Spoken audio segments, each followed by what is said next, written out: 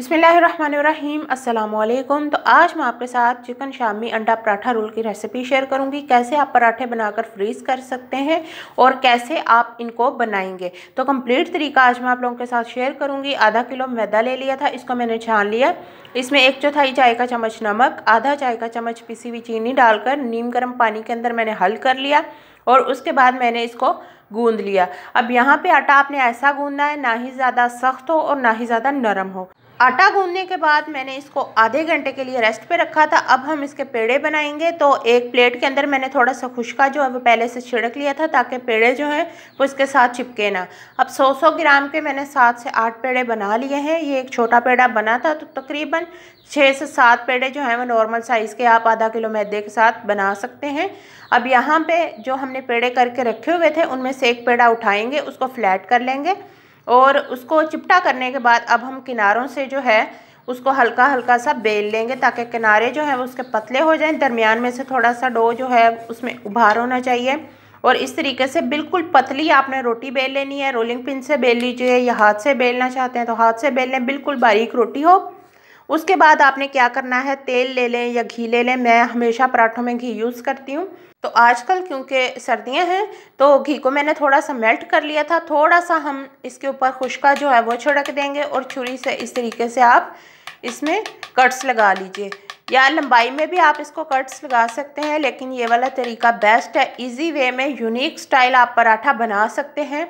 बिल्कुल आसान तरीका है। अगर आप बिगिनर्स हैं तो बहुत ही आसानी से आप लच्छा पराठा जो है वो घर पर बना सकते हैं और इसको स्टोर भी कर सकते हैं। एक महीने तक ये वाले जो पराठे हैं, आप इनको स्टोर कर सकते हैं, ये ख़राब नहीं होंगे इन तो आपने इसी तरीके से खींचते हुए जब आप इसको कट्स लगा लेंगे, खींचते हुए आपने इस तरीके से इसको फोल्ड करना है और सारे को आपने इकट्ठा कर लेना है। सारी रोटी जब इकट्ठी हो जाएगी, तब हम इसको जो है वो पेड़े की शेप में ले आएँगे। तो बहुत ही आसानी से आप ये वाले जो पराठे हैं घर पर बना सकते हैं, इनको स्टोर कर सकते हैं। जब भी आपको ज़रूरत हो, पराठे को निकालिए, तवे के ऊपर रखिए और उसके ऊपर घी या ऑयल जो भी आप लगाना चाहते हैं लगाइए और मिनटों में आप पराठे जो हैं, वो घर पर बना सकती हैं। अभी जो हमने पराठे का पेड़ा तैयार किया है, उसको ले लेंगे हाथ में। इसको किनारों से आपने दोबारा से प्रेस करते हुए बेलना है हल्का सा। और आपने हाथों को या बेलन के ऊपर ज़्यादा खुशका नहीं लगाना, ठीक है? वरना वो एक्स्ट्रा से जो खुशका होगा, वो तवे के ऊपर जलना स्टार्ट हो जाएगा।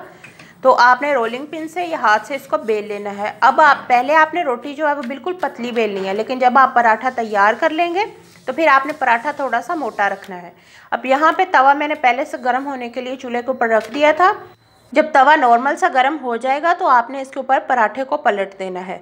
तो वीडियो की स्पीड मैंने थोड़ी सी तेज़ की है ताकि आपका जो टाइम है वो ज़ाया ना हो और जैसे ही ये ट्रांसपेरेंट सा हो जाए, यानी कि इसका कलर चेंज हो जाए, कच्चापन ख़त्म हो जाए तो आपने इसकी साइड चेंज कर देनी है। अभी आपने इसके ऊपर तेल या घी नहीं लगाना। ये अभी मैं आपको फ्रोज़न पराठे तैयार करने का तरीका बता रही हूँ। तो ये देख लें, जब आप इसको स्लो कुक करते हैं तो इसकी लेयर्स जो हैं वो खुलना स्टार्ट हो जाती हैं। तो यहाँ पर ये तैयार है। अब आपने इसको चूल्हे से उतार लेना है और किसी भी बर्तन में रख दें। नीचे कपड़ा बिछाएँ और उसके ऊपर आप पराठे को रख दें ताकि ये ठंडा हो जाए। सारे पराठे इसी तरीके से तैयार करेंगे। तो अब तवे के ऊपर मैंने घी डाल दिया है, थोड़ा सा मेल्ट हुआ हुआ। और इसमें अब हम शामी जो है वो फ्राई करेंगे। तो चिकन शामी कबाब की कंप्लीट रेसिपी मेरे चैनल पर मौजूद है। लिंक मैं आपको डिस्क्रिप्शन में दे दूँगी। तो मेरी प्यारी बहनों, अब यहाँ पे आप जितने भी पराठे तैयार करना चाहती हैं, उतने आप कर लीजिए। तो मैंने दो पराठे लिए हैं और दो ही मैं शामी फ्राई कर रही हूँ। जैसे ही शामी के ऊपर गोल्डन सा कलर आ जाएगा तो अब हम इसे तवे से जो है वो उतार लेंगे, निकाल लेंगे एक प्लेट में।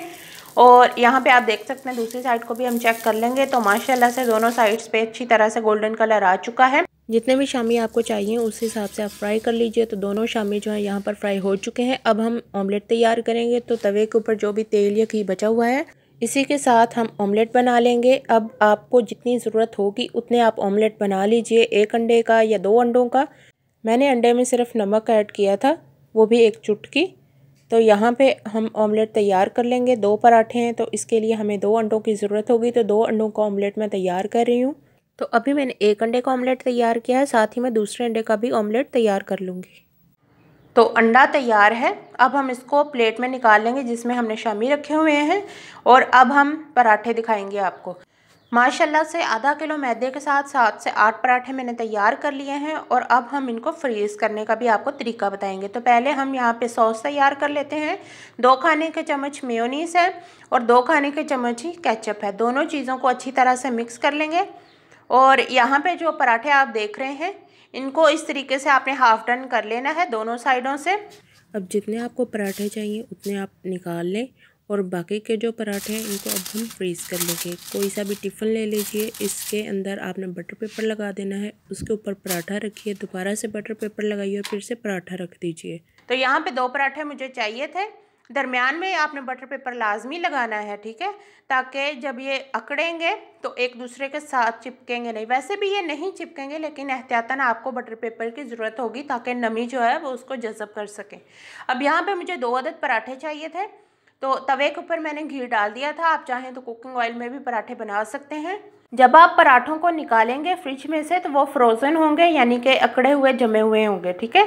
तो आपने ऐसे ही उनको तवे के ऊपर रख देना है। जैसे ही जैसे ही पराठों को हीट मिलेगी, वो डिफ्रोज हो जाएँगे। उसके बाद आप तेल लगा लें या घी लगा लें और उनको अच्छी तरह से पका लें।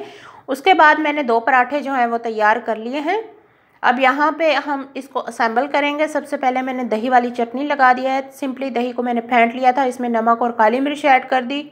एक एक चुटकी। और अब हम इसके ऊपर शामी लगाएँगे। आपकी मर्ज़ी, आप शामी तोड़ के लगाना चाहते हैं तो तोड़ के लगा दें, वरना चम्मच से या कफगीर से आप जो है वो इसको, शामी को इसके ऊपर मसल सकते हैं, ठीक है? तो मैं हाथ से ही लगा रही हूँ। अब हम इसके ऊपर रखेंगे ऑमलेट जो हमने तैयार किया हुआ है। और साथ ही हम थोड़ा सा सलाद भी लगा लेंगे और इसके ऊपर जो हमने सॉस तैयार की थी मे और केचप की वही लगाएँगे। सिंपल सी चीज़ें होती हैं और बहुत ही मज़ेदार पराठे जो हैं वो आप घर पर तैयार कर सकते हैं इस तरह से।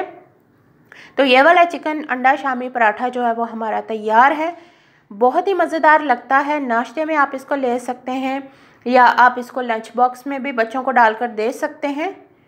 तो आपको ये वाली रेसिपी कैसी लगी कमेंट सेक्शन में मुझे ज़रूर बताइएगा। तो यहाँ पे जितने भी चिकन शामी अंडा पराठा रोल आप तैयार करेंगी, इस तरीके से आप उनको सर्व कर सकती हैं। लंच बॉक्स में भी आप बनाकर दे सकती हैं। अब यहाँ पे हमारे जो सेकंड लास्ट पराठा था, इसके अंदर मैं सॉसेस का इस्तेमाल नहीं कर रही, इसमें मैं सिर्फ़ चटनी का इस्तेमाल कर रही हूँ। तो ऐसे भी आप बना सकती हैं। रेसिपी अच्छी लगी है तो लाइक कीजिए, दोस्तों के साथ शेयर कीजिए और चैनल को सब्सक्राइब नहीं किया हुआ आपने तो चैनल को सब्सक्राइब कर लीजिए। आपके लाइक करने से और चैनल को सब्सक्राइब करने से हमें मोटिवेशन मिलती है ताकि हम आप लोगों के लिए मज़ीद अच्छी अच्छी वीडियोज़ बनाते रहें। तो ज़रूर लाइक किया करें और दोस्तों के साथ शेयर भी किया करें। मुझे अपनी दुआ में याद रखिएगा। थैंक यू फॉर वॉचिंग अल्लाह हाफिज़।